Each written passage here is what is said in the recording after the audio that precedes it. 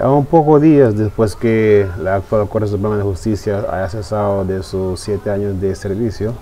bajo el liderazgo del señor Rolando Argueta, pues se rumora por ahí que este señor está buscando refugio en Nicaragua